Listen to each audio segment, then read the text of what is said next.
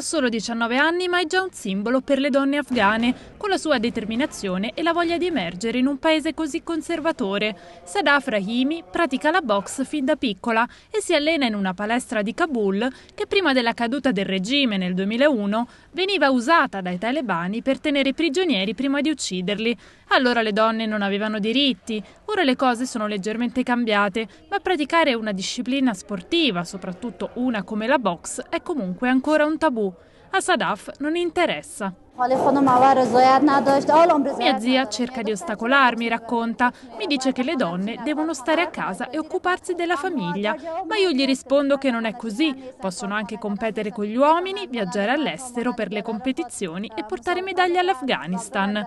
Lei sta sul ring dai sette anni con due idoli in testa, Mike Tyson e Laila, figlia di Muhammad Ali. Pesa 60 kg e anche quando si allena ha il capo coperto da una bandana e ha le idee molto chiare. In futuro vorrei diventare famosa, allenare altri boxer e avere una mia palestra, dice. Per ora ha vinto alcune medaglie in incontri regionali e sogna prima o poi le Olimpiadi. Ma il suo obiettivo è anche sociale, affermare attraverso la box la parità di genere e dare l'esempio alle altre ragazze.